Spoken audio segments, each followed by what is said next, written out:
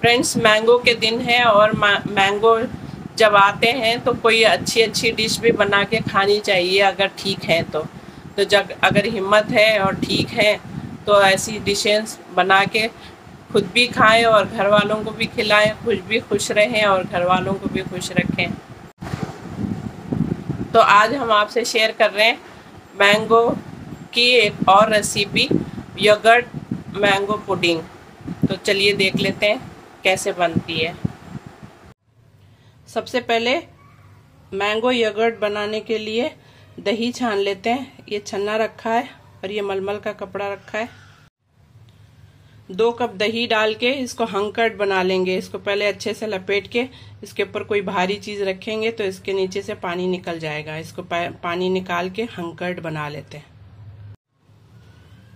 पहले इसको अच्छे से निचोड़ लेते हैं जितना भी पानी निकल जाए उसके बाद इसके ऊपर भा, कोई भा, भारी चीज़ रखेंगे ताकि ये निकल जाए। और इसको फ्रिज में रख देंगे खट्टा ना हो। तो ये पानी भी निकलता जाएगा और खट्टा भी नहीं होगा। यहाँ पे हमने कंडेंस मिल्क बना लिया है।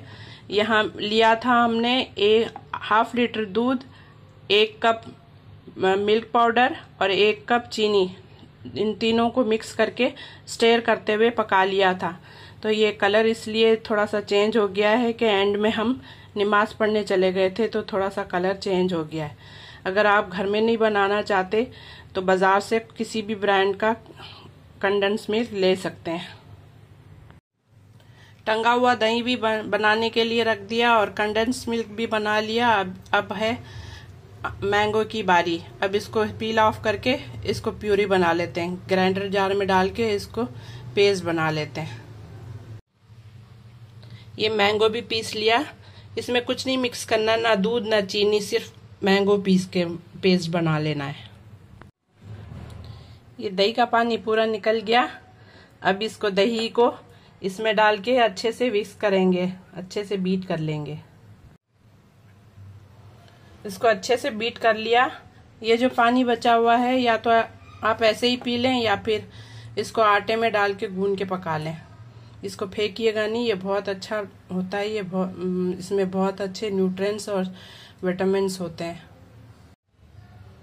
अब इसमें कंडेंस मिल्क डाल के बीट करेंगे। अगर आपके पास इलेक्ट्रिक बीटर है तो उससे भी बीट कर सकते हैं, नहीं तो हाथ से भी कर सकते हैं। अब इसमें मैंगो के प्यूरी ऐड करेंगे और इसको भी अच्छे से बीट करेंगे।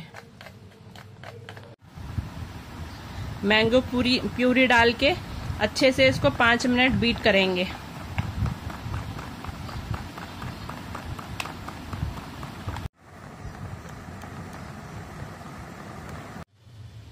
अब जिस मोल्ड में स्टीम देना है, उसमें हमने नीचे बटर पेपर रख दिया है। अब ये बैटर इसमें डालेंगे।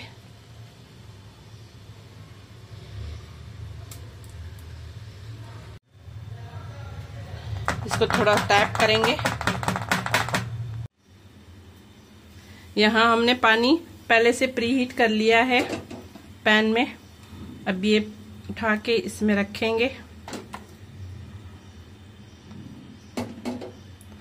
और इसको 30 मिनट के लिए स्टीम देंगे। पानी को नीचे से चेक करते रहेंगे।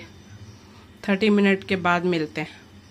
मगर नीचे पानी है या नहीं, ये लाजमी चेक करते रहना होगा। ये हमने मोल्ड पे ढक्कन ढक दिया ताकि ये स्टीम का पानी पुडिंग पे ना जाए। थर्टी मिनट हो गए, अभी देख लेते हैं चेक कर लेते हैं इसको। हमें पानी डालने की ज़रूरत नहीं पड़ी है।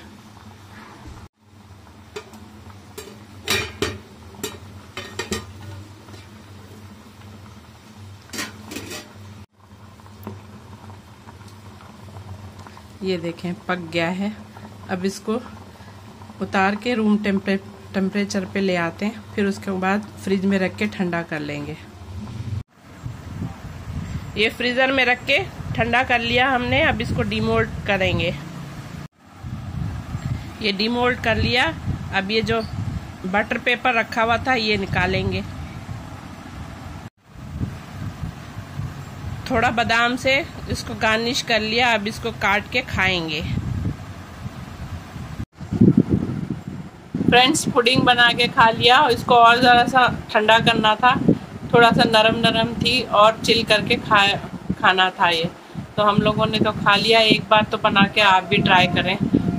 और हमें फीडबैक दें कि कैसी बनी थी। तो अब ये हो गया। अब हम नमाज़ भी पढ़ चुके मगरिब भी पढ़ लिया, ईशा भी पढ़ लिया, अभी बाहर जाएँगे और कुछ सौदा लेके आएँगे। बिन हाशिम जाना है, दूध वगैरह ख़त्म हो गया है, वो लेकर आएँगे और देखो क्या क्या करते हैं, वो सब आपसे शेयर करेंगे, साथ बने रहिएगा। और थोड़ी ठंडी हवा भी खा लेते हैं। इतने स्वेटिंग आ गई थी, इतना गर्मी आजकल बहुत है ना, चूल्हे के पास ज़रा सा भी जाओ तो स्वेटिंग आ जाती है और फुल पसीने से नहा जाते हैं। तो लाजमी कपड़े चेंज करना पड़ता है हमें।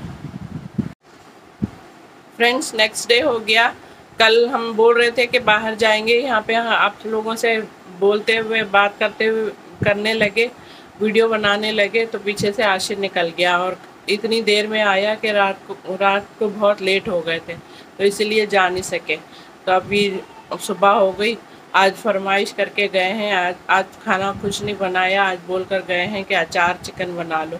तो अभी अचार चिकन की तैयारी कर रहे हैं, अभी वो बना रहे हैं। वैसे तो अचार चिकन की रेसिपी आपसे शेयर कर चुके हैं, उसको क्या शेयर करना? तो अभी सिर्फ़ बना रहे तो सिर्फ़ हल्का सा दिखा देंगे। ये चिकन धो के रख दिया है, यहाँ पे नींबू निकाल दिया है, फ्रीज़र में से पानी हो जाएगा, और ये टमाटर काट काटेंगे। थोड़े से काटे हैं, थोड़े से काटने हैं। और यहाँ हरी मिर्च है, ये भरने हैं। और ये मसाला है मिर्चों में भरने के लिए। और ये मसाला है पकाने के लिए। बस इतना ही। जब पका लेंगे तो फिर बताएँगे।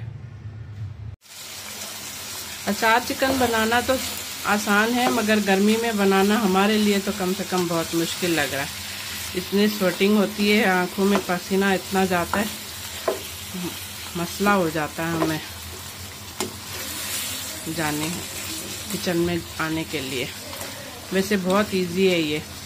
ऑयल डालो, अदरक, लहसुन का पेस्ट डालो चिकन डाल के भूनो, फिर मसाला डालो, उसको थोड़ा सा भूनो, फिर टमाटर और हल, दही डालो मिक्स करो, दम पे रख दो।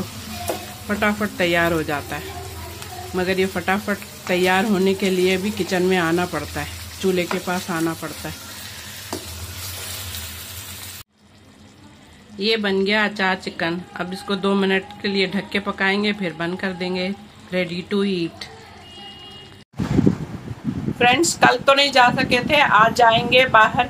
कुछ किचन का सामान भी लाना है, इसी बहाने थोड़ा सी हवा भी खा लेंगे।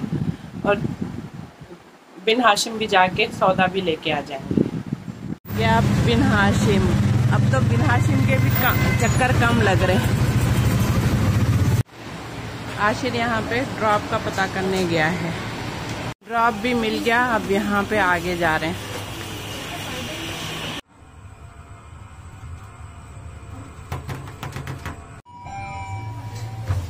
ये हमारे ऊपर।